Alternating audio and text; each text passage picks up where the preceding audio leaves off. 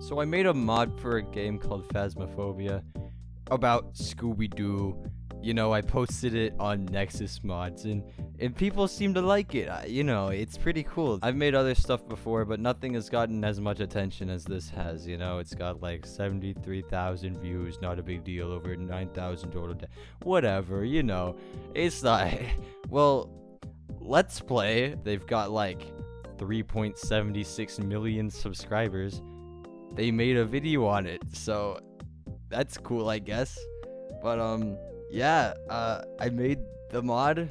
Um, here's a picture of the mod here. Uh, here's a picture of the mod here. Here's another picture of the mod. Uh, it's cool stuff.